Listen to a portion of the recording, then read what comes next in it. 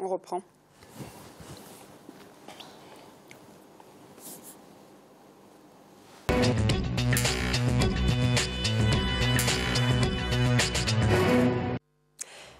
De retour dans l'Africa Newsroom, nous sommes toujours en compagnie de François Gomis, Raphaël Elono et Alfred Chango.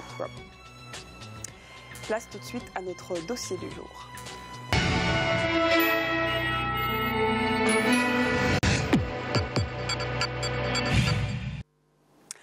Les mobilités intra-africaines ont toujours été importantes, des hautes pressions vers les basses pressions démographiques des pays plus peuplés vers des pays moins peuplés, des réservoirs démographiques vers des bassins d'emploi ou des pays présentant des économies plus dynamiques. État des lieux en Afrique à ce sujet dans ce reportage de Viviane Baoken.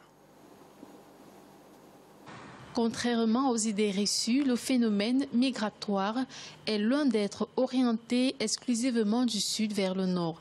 La plupart des migrations africaines sont interrégionales ou dirigées des zones rurales vers des zones urbaines, des zones de haute pression vers celles de basse pression démographique. Mais le phénomène des migrations définitives présente des impacts socio-économiques. Quel état des lieux des migrations intra-africaines? Quelle perspective? Quel sera l'avenir des mouvements migratoires en Afrique le continent africain compte 17 millions de migrants selon les statistiques, soit 1,9% de la population totale. La plupart du temps, ces migrations n'obéissent à aucune réglementation et les migrants qui vivent soit dans un pays limitrophe ou tout autre pays sont parfois victimes de xénophobie. Pour les experts, la principale cause ici est la non prise en compte par les États du concept de panafricanisme. L'idée des pères fondateurs du panafricanisme, c'était que l'on puisse avoir une Afrique sans frontières, où chacun puisse se déplacer sans avoir à rendre compte. Parce que la situation de l'Afrique aujourd'hui, malheureusement, c'est une situation qui a été voulue par l'extérieur, avec la conférence de, Berlin, au congrès de Berlin de, du 184, du 185, qui va dépasser, diviser le continent africain. Donc c'est pour ça que les États ont été créés. Et nous avons vu qu'à un moment, Nkrumah lançait l'idée d'une Afrique une et indivisible. Il n'a pas été suivi par ses pairs qui ont pensé que non, on peut arriver à l'unité de l'Afrique à travers les regroupements régionaux. L'immigration à l'intérieur du continent se décline en plusieurs pôles. Le premier s'est bâti autour de la Côte d'Ivoire, un pays peu peuplé et qui avait besoin de main-d'œuvre pour exploiter ses richesses agricoles, attirant ainsi les populations en provenance du Mali, du Burkina Faso, de la Guinée, voire du Sénégal. Le second pôle s'est construit autour du Nigeria qui a drainé des populations du Ghana, du Bénin, attirées par la rente pétrolière, entre autres. Ces migrations de l'Afrique du Nord euh, euh, étant davantage, l'Afrique du Nord étant davantage euh, considérée ou conceptualisée par les migrants africains de l'Afrique subsaharienne comme étant une zone de transit une zone de transit dans l'optique de rejoindre euh, euh, l'Eldorado occidental. Les phénomènes migratoires sont de plus en plus importants à l'intérieur des ensembles régionaux du fait des enjeux sécuritaires que rencontrent certains pays. C'est ainsi que les politiques migratoires qui avaient tendance à se durcir ont été progressivement structurées par des conventions sur la libre circulation dans des sous-régions afin de faciliter le déplacement des biens et des personnes. Tout le monde devrait aller là où il veut je sais que le Mali et même euh, dernièrement le Niger ont pris des décisions pour que certains États, pas, le Kenya, n'aient pas besoin de visa pour entrer chez eux. Oui, l'Afrique devrait être cela. Que si je veux aller euh, au Gabon, à côté, que je n'ai pas besoin de demander un visa, que je prenne ma voiture si j'en ai une, ou l'avion si j'ai les moyens, et j'y vais, je remplis mon business et et je reviens, je suis chez moi. Ces déplacements massifs et souvent incontrôlés sont considérés comme des menaces par les pays d'accueil, surtout en ce qui concerne les pays les moins peuplés. Ces derniers redoutent un envahissement et une fuite de leurs ressources internes. Partout où vous avez des disparités importantes entre pays, vous avez l'effet d'attraction qui est craint par les leaders du pays le plus riche à propos des pays les moins pauvres. Euh, ils ont peur d'être envahis et de pouvoir ne plus contrôler euh, un certain nombre de, leurs propres ressources. Les pays riches en matières premières, notamment la Côte d'Ivoire, le Gabon, le Nigeria, attirent de plus en plus de migrants. Sans oublier l'Afrique du Sud qui attire chaque année des Zimbabwéens, des Swazilandais et des Botswanais. Des déplacements qui se font avec d'importantes incidences sociales. Les migrants se heurtent parfois des rejets et l'hostilité de la part des populations locales. Une situation qui oblige souvent les gouvernements à entreprendre des reconduites massives aux frontières. L'intégration pose des problèmes parce que beaucoup de personnes vont vous dire que leur vie quotidienne est une vie de brimade, une vie de violence, euh, parce que justement, ils ont des difficultés à se faire accepter par euh, les populations locales pour diverses euh, raisons. Mais ce qu'on peut dire, c'est qu'il y a deux visages euh, en termes d'incidence euh, sociale qui se mettent en place, il y a un visage de l'intégration par le bas et il y a un visage justement du rejet de cette intégration-là, du fait des différences euh, qui existent. Sous un autre angle, les migrations sont facteurs de changement et de croissance. Dans certaines circonstances, elles contribuent à réduire le chômage, en constituant un point important au développement économique par le biais des transferts de fonds. elles sont aussi un levier considérable pour la mobilité des compétences, des connaissances et des technologies d'un pays à un autre. L'Afrique gagnerait, gagnerait pour que toutes ces ressources humaines, que ces ressources minières, que ces ressources forestières, ces ressources halieutiques puissent être utilisées par les Africains gagnerait véritablement à arriver à cette formule que Nkrumah a lancée depuis la deuxième moitié du 19e siècle, du 20e siècle, Africa must unite. L'Afrique doit s'unir. De plus en plus, l'Afrique devient une région très attractive au plan économique. Selon les experts, les gouvernements africains devraient faciliter la circulation des personnes et des biens en mettant en perspective les avantages en matière d'intégration régionale et de développement économique. Monsieur Elono, euh, dans l'imaginaire collectif, hein, les personnes en migration sont souvent des migrants qui vont euh, en Europe. Certains disent au contraire euh, que ces migrations sur le continent est d'abord intra-africaine. Vous, quel est votre point de vue là-dessus? Ce sujet tombe à pic parce qu'il rejoint mon premier roman que j'ai écrivé, qui est là, Une Odyssée gabonaise. C'est une histoire vraie de mon petit-oncle maternel qui a immigré en 1982 vers le, le Gabon. Pourquoi on immigre Parce que on sent que chez soi, on n'a plus rien. On n'a plus rien. On est euh, bon. On n'a pas fait des études le plus souvent, et puis euh, on n'a personne haut placé dans le, gouvernement qui peut vous tenir euh, par la main. Comme il y avait une expression qui est née au Cameroun vers les années 75, on disait il faut avoir des godasses et, et des parapluies. bon, si vous n'avez pas de godasses ni de parapluies, vous êtes obligé de partir parce que la faim chasse le loup hors du bois. Et comme un estomac vide est toujours le terrain favori du démon. Un matin, on se lève. C'est la pauvreté, vous C'est le, manque de développement qui ah, pousse les gens à ah, oui, c'est la misère. D'Afrique en Afrique, vous parliez de quel pays tout à l'heure? Du Cameroun au Gabon ah, Oui, du Cameroun vers le Gabon, parce qu'à l'époque, le Gabon était prospère le Gabon était prospère. Et ceux qui allaient au Gabon, quand on les voyait revenir, ils étaient riches. Moi, la première fois que j'ai découvert un poste de télévision, c'était grâce à un oncle qui avait immigré euh, au Gabon. Mais malheureusement, son poste ne pouvait pas marcher au village parce qu'on n'avait pas encore les conditions pour. Donc, ah. donc dans l'esprit des gens, sortir vers l'extérieur, finalement, ça donne accès à d'autres euh, conditions de vie, à de meilleures conditions de vie. Oui, pourvu qu'on mette, hein. pourvu qu'on mette dans, euh, dans sa besace trois viatiques l'audace, le courage et puis au bout le rêve. Parfois, ce rêve peut se transformer en cauchemar, tout dépend. Mais, mais il faut quand même euh, aller et, y réussir. On voit bien par le passé, quand on regarde euh, l'histoire de l'humanité, que c'est la crise alimentaire qui a poussé les Irlandais à aller massivement vers les États-Unis et les Italiens à aller vers l'Argentine, où ils forment une grande communauté là-bas aujourd'hui.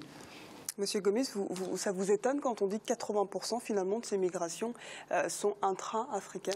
Euh, Absolument pas. Ça ne m'étonne pas du tout dans la mesure où il faut qu'on évite de tomber dans le piège qui consiste à accorder du crédit au discours sur l'immigration porté par les hommes politiques, c'est-à-dire le discours qu'ils veulent en donner. Parce que le drame de l'immigration, c'est qu'au lieu d'être considéré comme un enjeu social, voire humain, c'est devenu un danger. Un marketing, une marchandise de marketing électoral. Donc on présente euh, notamment ici, il y a quelques, il y a un mois, lors des élections. En France Voilà, les migrants comme étant, disons, à l'origine d'une double, voire triple insécurité. Savoir insécurité physique des personnes, de l'emploi, voire même culturelle comme quoi il menacerait l'identité culturelle. Donc pourquoi ça ne m'étonne absolument pas? Parce que dans la tradition africaine, c'est que, euh, je, veux dire, euh, l'Afrique traditionnelle ne connaissait pas les frontières. Donc c'est des phénomènes qui sont totalement naturels dans le contexte africain. Maintenant, aujourd'hui, D'ailleurs, les, chiffres montrent que c'est un phénomène tout à fait marginal, mais l'intérêt de l'émission, c'est d'anticiper. Parce qu'avec la démographie africaine qui ne cesse d'augmenter, donc elle va se poser avec plus d'acuité. Donc c'est l'occasion même pour l'Union africaine dont on parlait à l'instant de prendre des mesures pour mieux organiser cette euh, migration intra-africaine. On prône effectivement l'intégration euh, régionale, l'intégration africaine à l'intérieur euh, de l'Afrique, mais le paradoxe, c'est que les politiques, elles, migratoires, ont tendance à se durcir, et notamment en période électorale, comme on dit. Justement, le problème, c'est que certains chefs d'État africains ont tendance à poser le même regard que posent les dirigeants ici, à savoir le tout répressif. Or, le tout répressif, ça n'a jamais marché absolument nulle part. Euh, on voit les cortèges de drames en Méditerranée. Mais le problème, c'est qu'il faudra éduquer le peuple. C'est qu'on n'est pas si différent que ça au lieu de nous considérer, par exemple, là, par exemple, il y a eu euh, les, les, images quand même en Afrique du Sud avec une xénophobie alors que toute l'Afrique s'était mobilisée pour les libérer de l'apartheid. C'est désolant. Mais le problème, c'est qu'il faut qu'on arrive à promouvoir une certaine unité culturelle africaine qui est au-delà des particularismes que certains hommes politiques euh, relativement peu inspirés activent parfois dans des buts euh, purement électoralistes. Kwame Nkrumah parlait effectivement d'une Afrique unie et indivisible. Aujourd'hui, le constat, c'est que 54 ans après la création de cette OUA, euh, cette question migratoire intra-africaine pose parfois problème. oui, ça, ça, pose problème parce qu'il y a au moins trois dynamiques qui s'affrontent.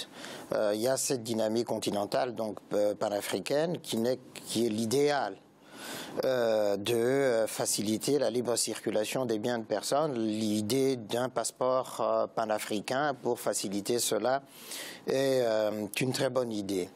Deux dynamiques justement des blocs donc régionales qui devraient favoriser cette libre circulation. On peut dire quand même qu'en Afrique de l'Ouest, c'est plus ou moins vrai euh, qui a cette libre circulation. Il y a des disparités régionales, effectivement. Malgré tout, oui. Cette migration. C'est ça. Ça se passe plus ou moins bien, sauf en période de crise euh, ou euh, de conflit ouvert. En Afrique centrale, ça ne marche pas parce qu'on a vu des résistances au niveau de la CEAC et de la CEMAC, rien que pour l'idée du passeport ou de la libre circulation des personnes et des biens, des résistances de certains pays comme la Guinée équatoriale, craignant justement l'invasion d'autres peuples. Et puis, il y a les logiques internes, euh, dynamiques internes, euh, qui se traduisent par cette absence justement de véritable politique de promotion, de développement interne qui permettrait justement que les euh, Africains qui arriveraient ne soient pas considérés comme des envahisseurs qui viennent piquer les biens des C'est quand même difficile de, modifier les mentalités, Alfred. De mon point de vue, ça n'est pas, ça n'est pas compliqué. C'est euh, la volonté politique d'abord de faire comprendre que euh, aucun Africain venant d'un autre pays n'est un danger pour ce, pays-là. Gomis rappelait ici les logiques traditionnelles de l'Afrique. Avant le, partage de l'Afrique 1884-1885, la libre circulation des biens des personnes, le commerce se faisait euh, de royaume à royaume, d'empire à empire, d'État à État. Euh, sans que ça, pose problème. Mais l'établissement de frontières contemporaines, modernes, a fait qu'effectivement, il y a cette question. Et, là où je pense qu'il y a aussi une erreur de l'Union, de l'OUA, c'était d'avaliser l'idée de l'intangibilité de frontières héritées de la colonisation. Donc dès le départ, il y a eu finalement une, contradiction, une contradiction qui a été mise en place. pour, pour, corroborer ce que dit Alfred, moi je suis à peu près, je suis persuadé aussi longtemps qu'on n'aura pas fait, qu'on ne fera pas sauter le verrou des frontières, on n'y arrivera pas. Parce qu'on a des États non viables dans leur forme actuelle. Et le fait, parce qu'à l'origine même, il y a d'abord eu ce qu'on appelle le groupe de Casablanca et de Monrovia. Mm. Du coup, c'est là où l'organisation continentale a été piégée dès le départ.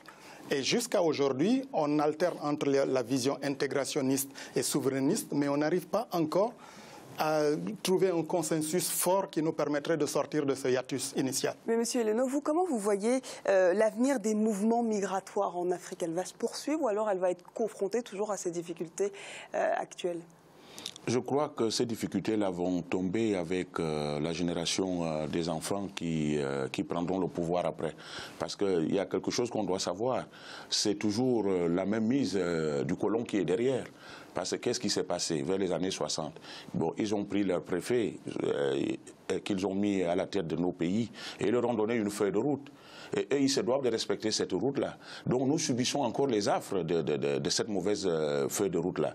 Et ces enfants qui n'auront rien à voir avec la colonisation, moi je suis persuadé qu'ils feront tomber tous ces verrous-là. Et ils vont dire maintenant, nous allons discuter, nous allons parler autre chose. Nous ne parlons plus de, maîtres à, à esclaves, de colons à coloniser. Parce que c'est pour cela qu'il euh, faut une pédagogie même euh, dans les universités, qu'on apprenne, euh, bon... Je il est temps de vulgariser cette parole. L'Afrique unie, au-delà même des discours, auprès des jeunes, la clé, ça serait la jeunesse. Oui, oui, oui, Diara, je pense, mais là, Elono touche un point très important, c'est-à-dire que tant qu'il n'y a pas cette facilitation déjà scientifique, au sens le plus général du terme, c'est-à-dire hein, ouverture des écoles, des universités aux Africains, mobilité pour aller à... On sera toujours euh, confrontés à ce phénomène de rejet euh, de, de l'autre. Donc il faut favoriser cela. Et puis il faut promouvoir dans euh, l'éducation, dans les programmes de l'histoire africaine et de la géographie africaine, cela. Si on ne fait pas ça, on ne s'en sortira pas. On continuera tout le temps à revenir sur ce phénomène de, des migrations considérées comme menace pour nos propres pays, répercutant le, ainsi. Le continent, le continent attire, attire le monde entier autour de nous et on a même une une, migration inverse. Les gens du Nord viennent maintenant, au-delà des expatriés, viennent s'installer en Afrique. Moi, je, pense quand même que le mouvement est amené à se poursuivre parce qu'on est dans un contexte mondialisé, où on promeut euh, partout la circulation des biens et des, personnes. Après, il faut le concrétiser sur le terrain aussi. C'est là où le rôle de l'histoire est stratégique. Parce que la xénophobie, tout ça, c'est parce qu'on se considère comme étranger alors qu'on fait partie du même peuple, mais on a... Pour conclure, Monsieur voilà, euh, Oui, comme il parlait du rôle de l'histoire, je me rappelle une fois, j'étais invité ici dans votre plateau. Euh, le thème, c'était que les Africains boudaient euh, leur musée. Mais c'est normal, puisque si déjà à partir de l'école primaire, on commence à t'apprendre que tes ancêtres sont des Gaulois, tu grandis avec cette idée, pour toi le musée devient un élément exotique tu le regardes avec d'autres avec d'autres d'autres yeux. Moi, je me rappelle quand je passais le brevet des collèges au Cameroun, on m'a demandé de parler du succès des nationalités dans les Balkans et en Italie. Qu'est-ce que ça À quel petit Français on va demander de parler de la fameuse bataille de Kirin après de Kurikoro où Sundiata Keita avait battu Soumanguro Nulle part, je vous le confirme. Monsieur Elono, merci pour ces précisions. Merci à vous, messieurs. Nous allons marquer une courte pause. On se retrouve dans quelques instants pour la suite de l'Africa Newsroom.